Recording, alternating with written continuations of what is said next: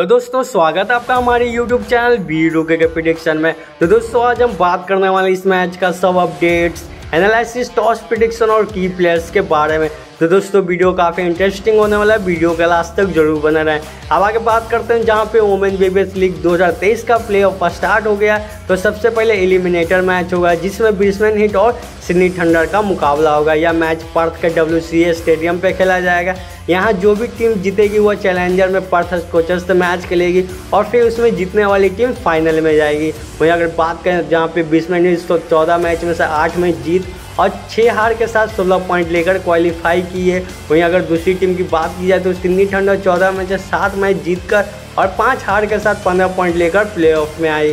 वहीं अगर weather report की बात की जाए तो मैच के दिन वेदर पूरी तरह साफ़ रहने वाला है। टेम्परेचर 20 से 25 डिग्री के सेल्सियस के बीच में रहने वाला है।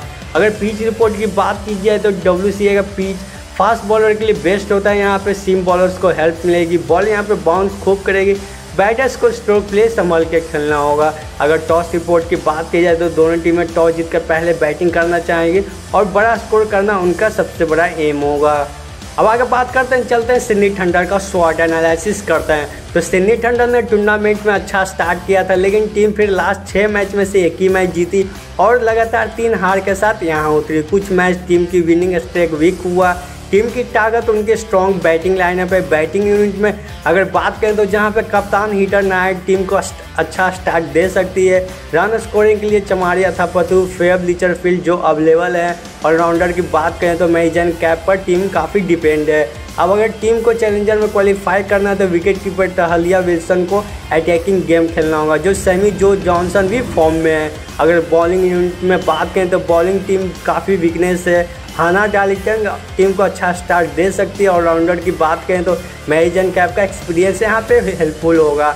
वहीं अगर फास्ट बॉलर की बात करें तो सेमी जो जॉनसन को यहाँ पे विकेट लेना होगा। लॉरेन स्मिथ अब तक ठीक ठाक परफॉर्म किया। टीम यूनिट को एक होकर अच्छा परफॉर्म करना होगा।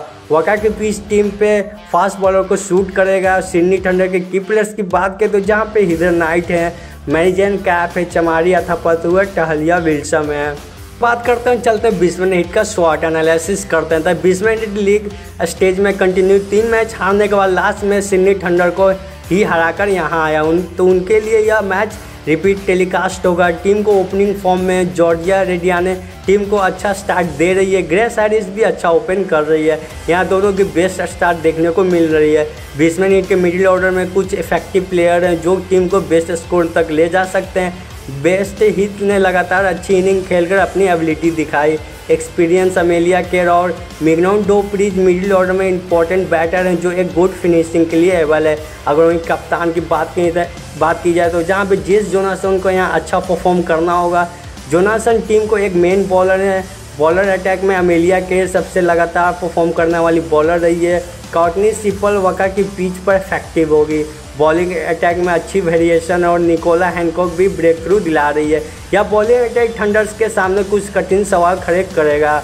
बीस मिनट के की प्लेयर्स की बात करते हैं, जहाँ पे अमेलिया केर है मिकनॉन डुप्रीज है चार्ली नॉट है जेस जोनान सोन है तो फाइनली दोस्तों हमने हर एक चीज़ पे डिस्कशन कर लिया। अब आगे बढ़ते हैं, चलते हैं विनर की ओर। तो हमारे को ओनली आज का मैच विनर वाला है सिन्नी थंडर क्योंकि सिन्नी की थंडर जो भी टीम है, काफ़ी स्ट्रांग लग रही है। यहाँ पे बीस मिनट को हार मिल सकती है। तो ऐसे इंटरेस्टिंग वीडियो के लिए हमारे चैनल के साथ बना हैं वे गज मिलते हैं नेक्स्ट वीडियो में। Yeah.